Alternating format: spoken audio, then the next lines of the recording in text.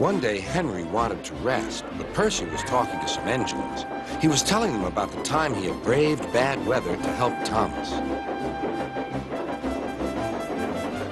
It was raining hard. Water swirled under my boiler. I couldn't see where I was going, but I struggled on. Oh, Percy, you are brave. Well, it wasn't anything really. Water's nothing to an engine with determination. Tell us more, Percy. What are you engines doing here? hissed Henry. This shed is for Sir Topham Hatt's engines. Go away. Silly things, Henry snorted.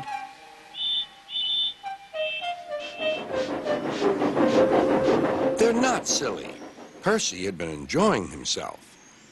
They are silly, and so are you. Water's nothing to an engine with determination. Huh.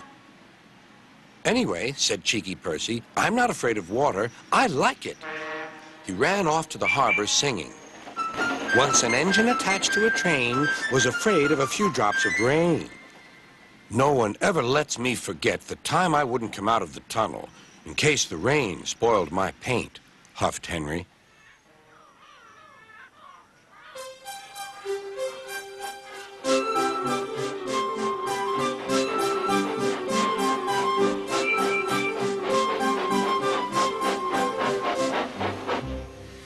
Thomas was looking at the board on the quay. Danger. We mustn't go past it, he said. That's orders. Why? Danger means falling down something, said Thomas. I went past danger once and fell down a mine. I can't see a mine, said Percy. He didn't know that the foundations of the quay had sunk. The rails now sloped downward to the sea. Stupid board, said Percy. He made a plan.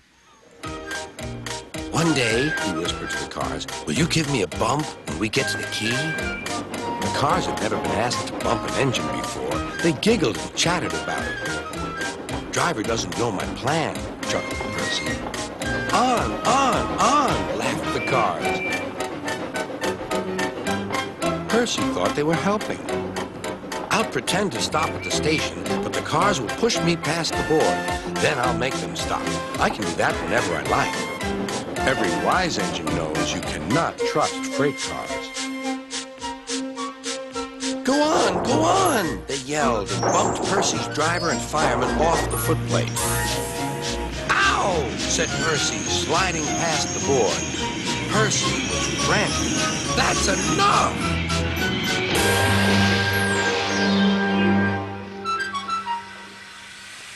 Percy was sunk.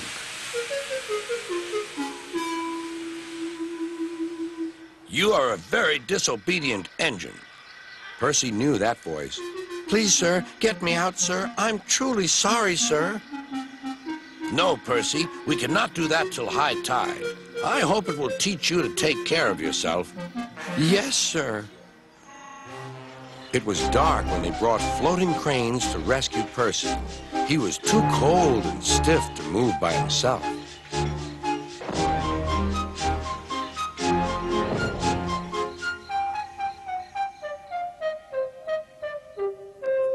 Next day, he was sent to the works on Henry's freight train.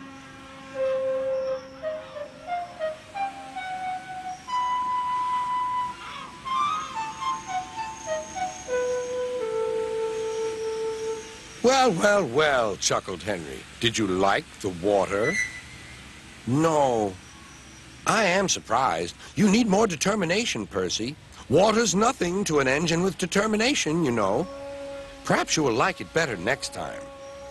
Percy is quite determined that there won't be a next time.